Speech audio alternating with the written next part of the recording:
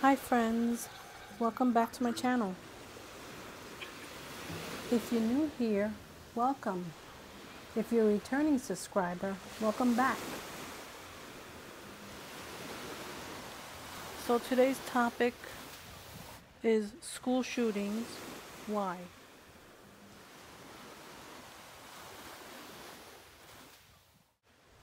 Sadly, many people have lost their faith in God because they believe it's a punishment from God. However, according to the scriptures, God doesn't try anyone. The trials don't come from him. It says in James 1:13 that when under trial let no one say I am being tried by God, for with evil things God cannot be tried, nor does he himself try anyone. So clearly these shootings or anything bad that's happening around the world is not a punishment from God.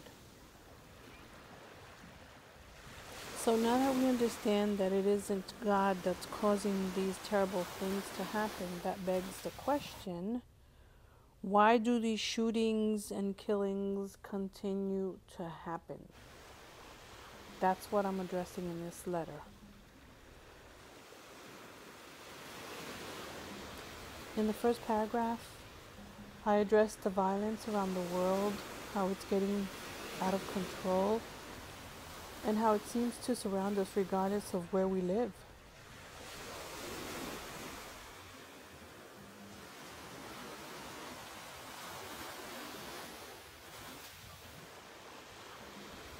In the second paragraph, I bring up the question about why these atrocities continue to happen around the world.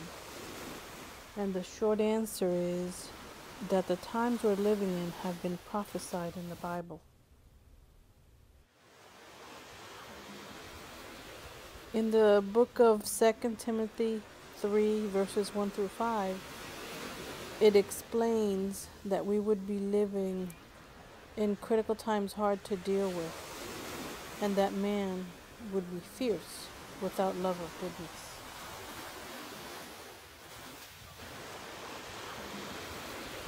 In my third paragraph, I also bring out the scripture of 2 Timothy 3.13, which tells us those who don't value life will advance from bad to worse. Isn't that what we see today?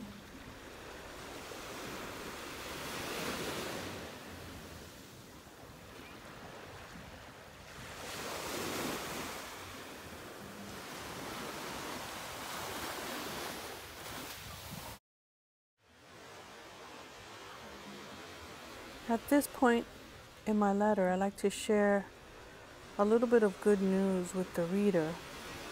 So I bring out Psalm 37 9, which explains that God promises to destroy all those destroying the earth and all those who are not doing His will.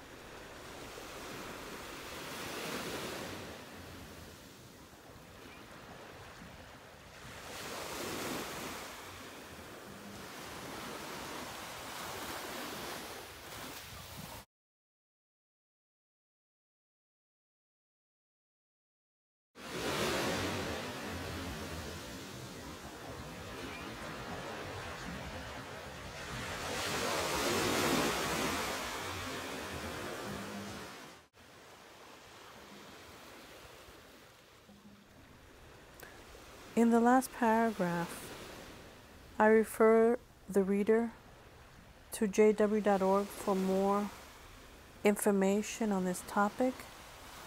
And I explain that all resources are free, that no personal information is required, and that we also offer a free Bible course with no obligation.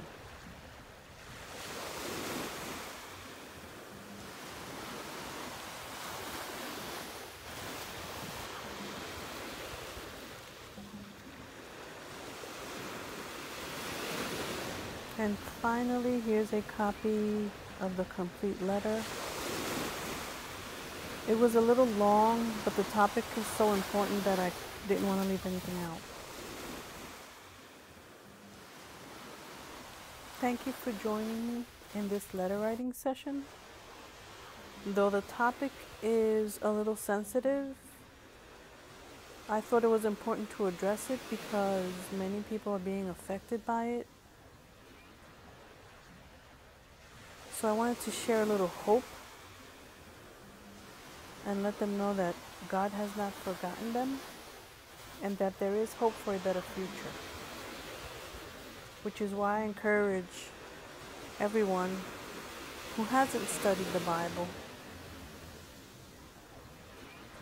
to do so and to learn a little bit more about what the future holds for everyone.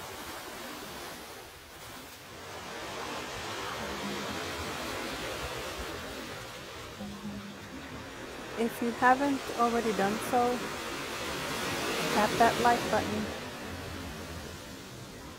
And if you haven't subscribed, please go ahead and subscribe and hit that notification bell so you don't miss any of the videos. Thanks for watching.